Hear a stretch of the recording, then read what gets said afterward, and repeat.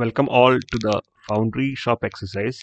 So this is the foundry shop of NIT Calicut. This is situated at the left end of our mechanical workshop. So generally foundry shop is used to make metal castings.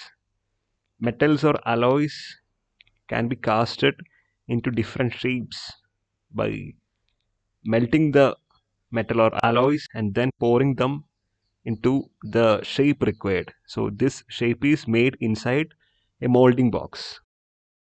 So after the molten metal is poured, it is set for solidification. After solidification, we remove the molding and we will get the required shape. You can observe how the things are arranged inside our foundry shop. You will get to know these things in detail in the coming sessions of this video.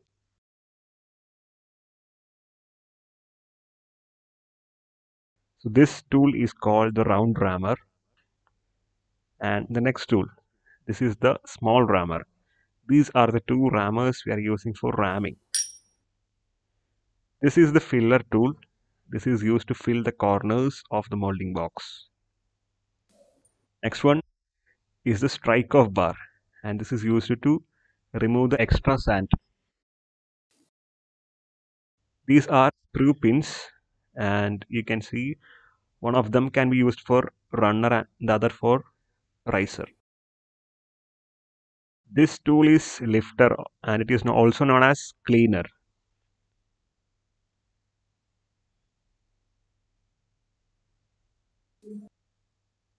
This tool is the draw spike and this is used to remove the pattern from the molding box. You can see it clearly. This one is the vent wire and this is used to make vent holes in the box. You might be familiar with this tool. This is the trowel. This tool is called bellow and this is used to remove unwanted sand from the mold. You can see the molding sand lying on the floor. This is the sieve that we are using to filter the sand and you can see the shovel which is used to handle the molding sand. Now let's see some patterns used in our foundry shop. The first one is a wooden pattern. This is also wooden pattern but both of these are single piece patterns. These are split patterns and these are metal patterns also. You can see why they are called split patterns because they have two parts.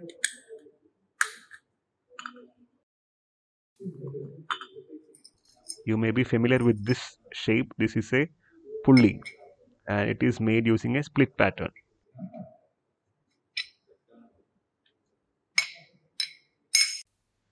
so let's start the mold preparation. So the first important step is the sand preparation. So you can see the sand is transferred from the ground to the sieve using a shovel. So with the sieve we are filtering the sand. This is done to remove any foreign particles or big particles present in the sand. After that we need to add water so the ingredients of molding sand are silica sand clay and water. So you can see now you are adding water to the sand.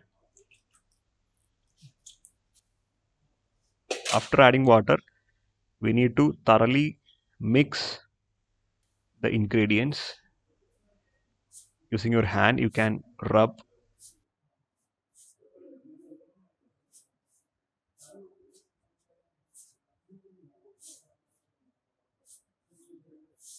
consistency of the sand is very important. So you can see they are doing the process for very long time.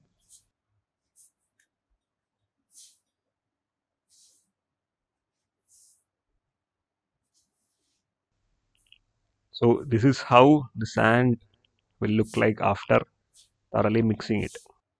So the molding sand are of different types. We have coarse sand green sand dry sand etc and it is clearly differentiated in the reading material. And also the properties of the sand are mentioned. The sand should have good adhesiveness cohesiveness and permeability. Now this is the parting sand we are using to part the surfaces. So let's start the mold preparation again we are mixing the sand.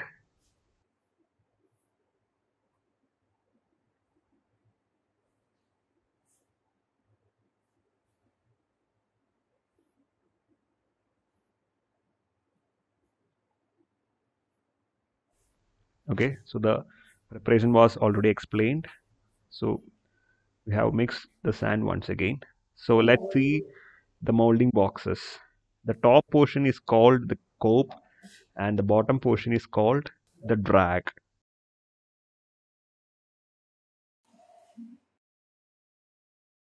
So here we are using the wooden single piece pattern. So it's a simple pattern and we are placing the pattern in the drag box the bottom one drag box and we have to place it in the center of the drag box. After placing we have to fill the box with our already prepared molding sand. You can see how the sand is filled. We need to fill the box completely and then we are using the filler rod to fill the corners of the molding box this is how the process is done.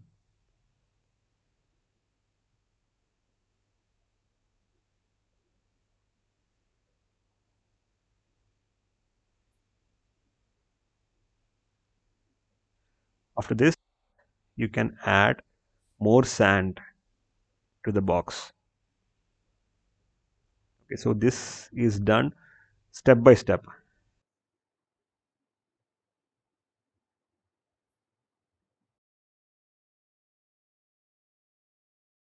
again we are adding more sand and we will be continuing this process.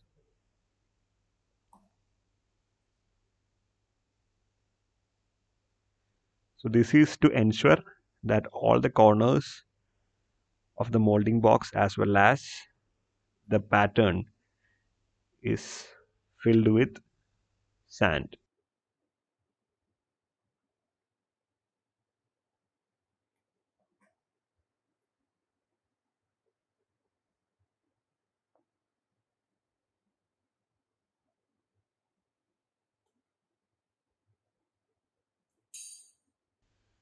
so we have completed the filling process. Now we are using the small rammer to ram the sand.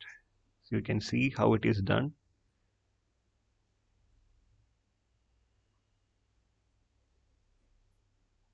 So this is to ensure that the sand is tightly packed inside the molding box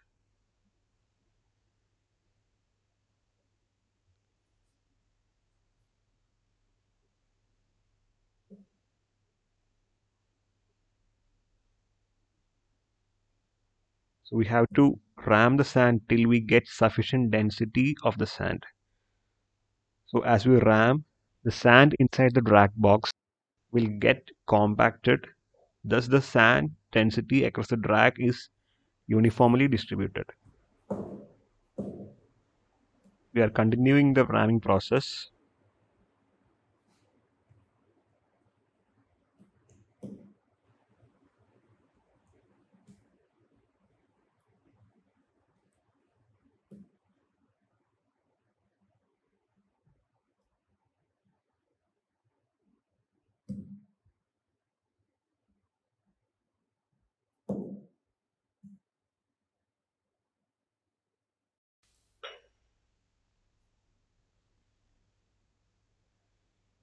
We are again filling the box with sand and then we have changed the tool to the round rammer.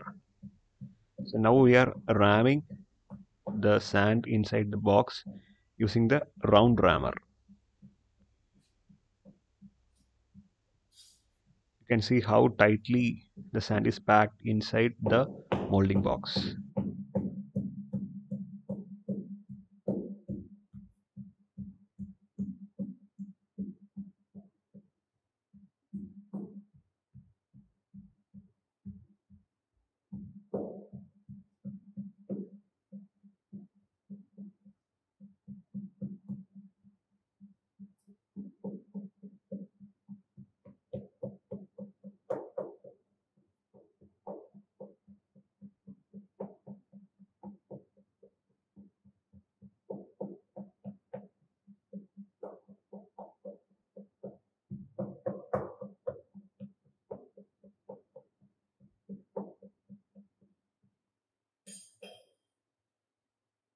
Now we are using the strike off bar to strike off the excess sand on the box.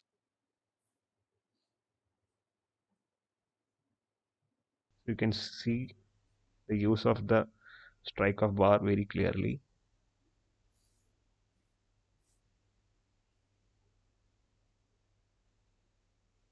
The excess amount of sand has been cleared and the surface of the sand is made flattened. We are using the trowel to finish the surface. There were some deformities. We are clearing it now using the trowel. The trowels are basically employed for smoothing or slickening the surface of molds. They may also be used to cut in gates and repair the mold surfaces. So we have seen a repairing activity just now so the surface is done.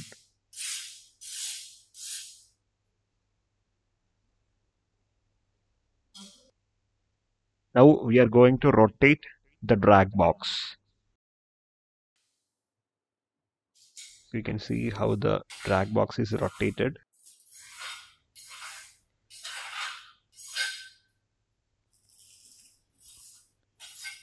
The drag box is ready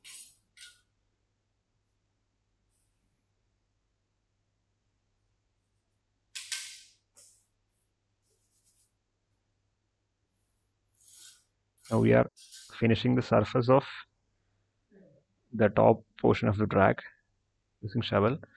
And then we are using the parting sand. We are sprinkling the parting sand over the drag sand surface. This parting sand is nothing but pure silica. So this is added to ensure a clear separation between the cope and drag after placing the cope again we will be adding sand and we will be doing the ramming process. So in order to avoid the mixing of the sand we are making a clear parting surface. So after sprinkling the parting sand we have to remove the excess sand by using the bellow. So this is the use of bellow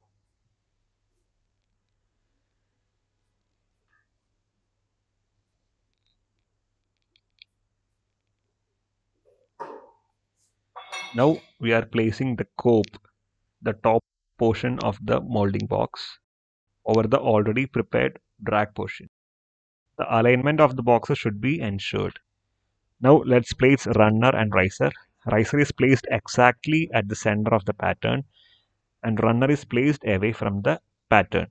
After that, we have to add sand again. So we are adding sand to the cope box now. This is the top portion. So the sprue pins used for runner and riser should be maintained till the sand is added.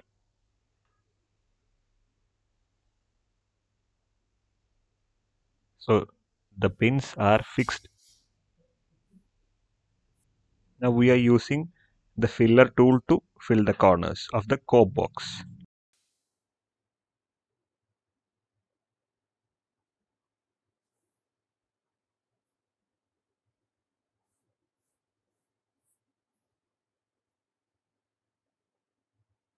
We are repeating the same process that was done in the drag box.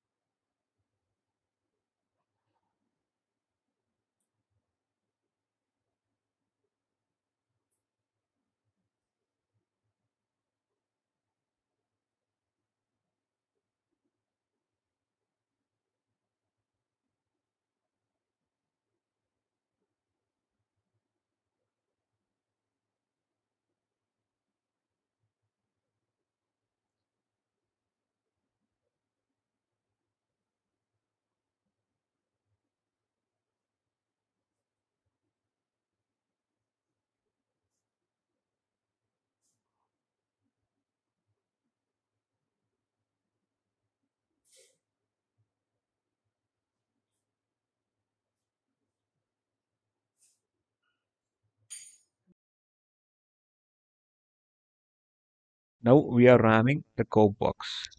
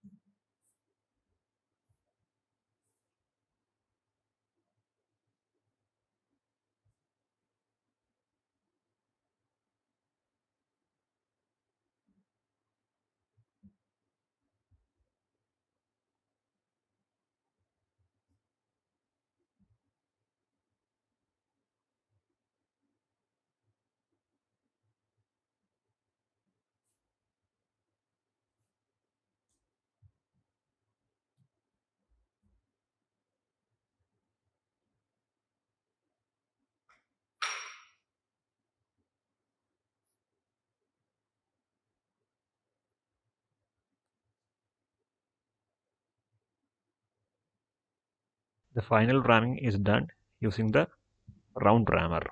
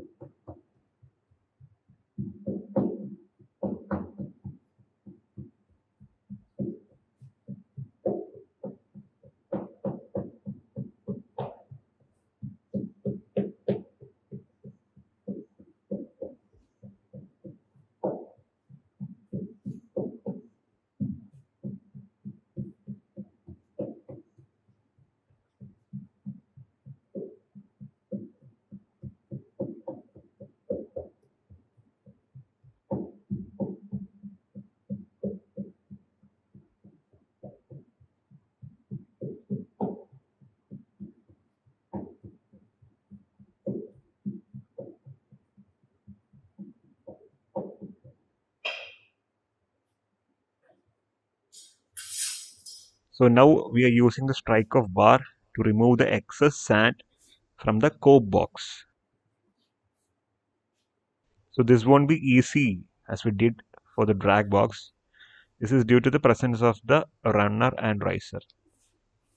The location of these pins are very important for the operation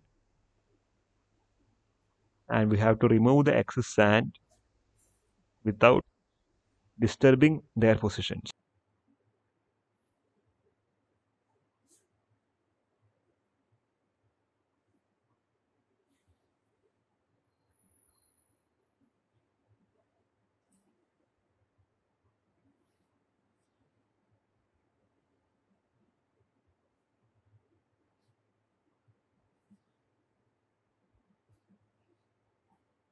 This is how it is done.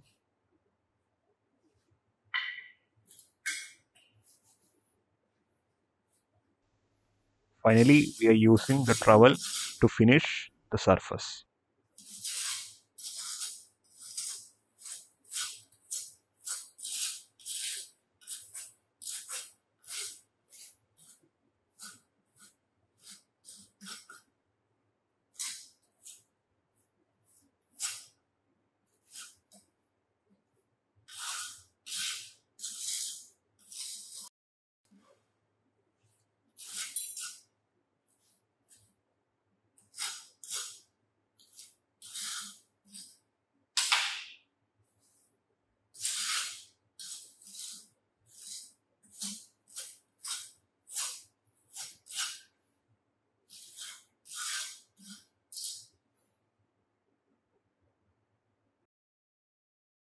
Now we are using the cleaner or lifter tool to cut the riser cup.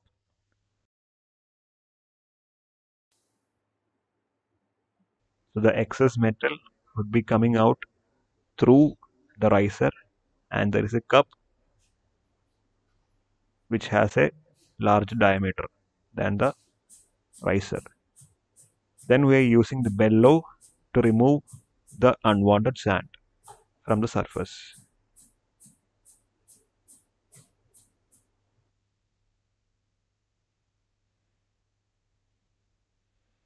So the surface is finished and we are doing the same for runner and this one is called pouring basin. So we are introducing the molten metal to the cavity through this pouring basin. Again we are removing the excess unwanted sand using bellow. We are blowing the sand from the surface using the bellow.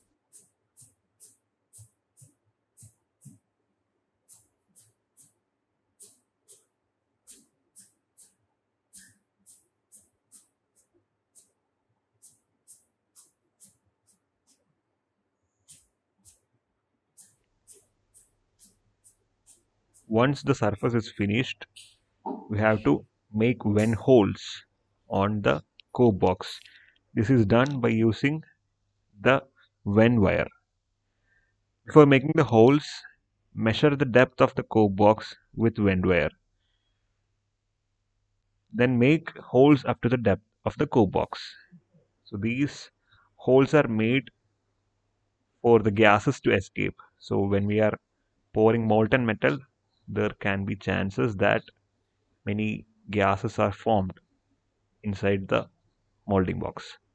So these vent holes are a passage for these gases to escape from the molding box. So once that is done, again there can be some excess sand and that is removed using the bellow. The next step is to remove the runner and riser and this is a crucial part of our operation. It should be done very carefully. So you can see the runner and riser are shaken slowly and then they are removed very slowly and very carefully. So there can be chances that the molding can deform because of this. So that should be done very carefully. After that they are finishing the surfaces or cleaning the surface using the cleaner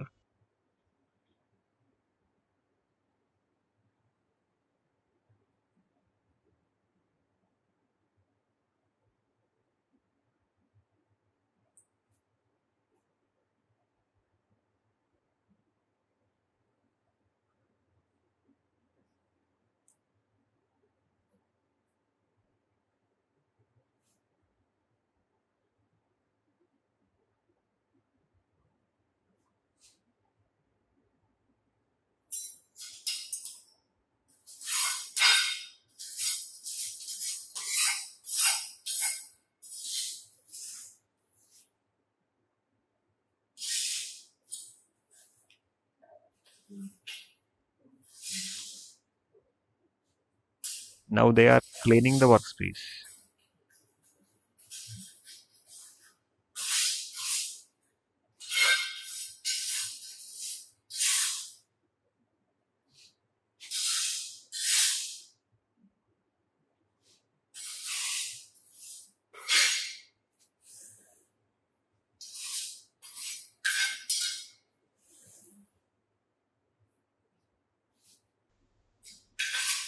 Now we are going to open the box. We are taking the cope box out first.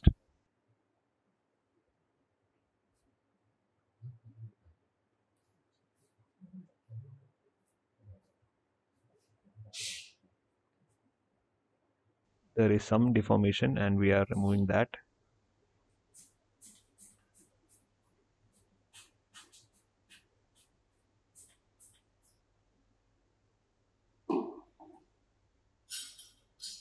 So the formation on the other box is being cleaned now using some sand.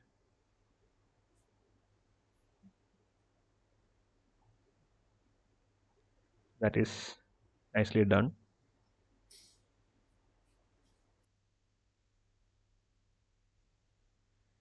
Now we have to cut the gate. So you have seen that the runner is placed away from the pattern and it is the portion through which the molten metal is entering the cavity. So for it to reach the cavity, we have to cut the gate. You can see how it is done.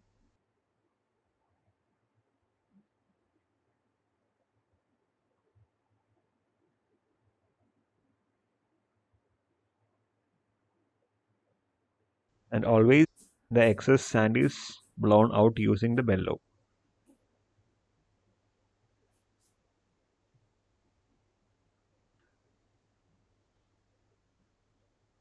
So this is the gate.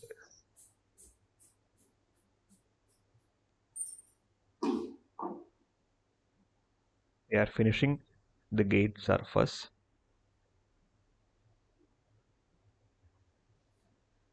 So the molten metal is poured through the pouring basin. It passes through the runner and reaches the gate. The gate is the passage for the molten metal to enter the mold cavity. Once the molten metal reaches the mold cavity, it fills the cavity first and then it goes through the riser.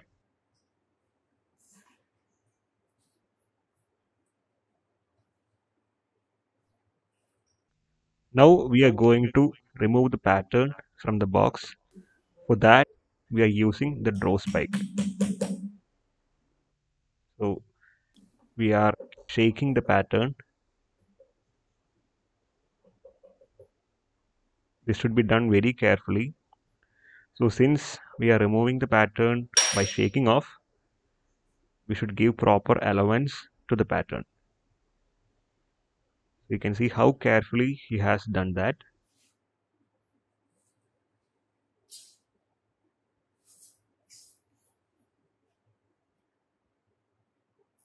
And the finishing is done using the trowel.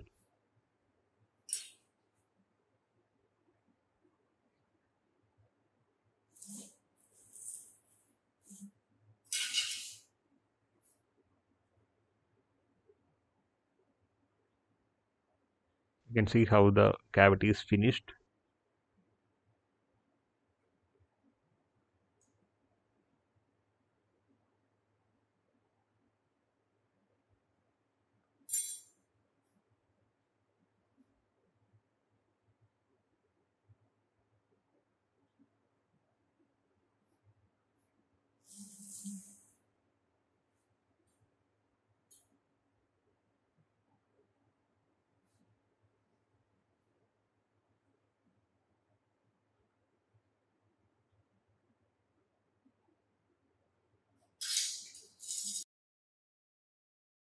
Now the wall process is done.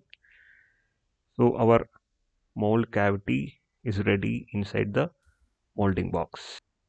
Now you will be shown a sample casting that was done using a similar molding cavity. So this is it. So you can see the extra projections. So these extra projections are from the runner and riser. We need to remove them using some machining operations so once the molten metal solidifies we have to break the mold. So this is how the breaking is done. And the casting is removed.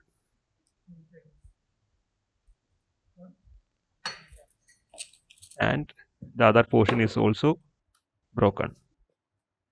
Hope you got an idea about what is being done in the foundry shop. So thank you.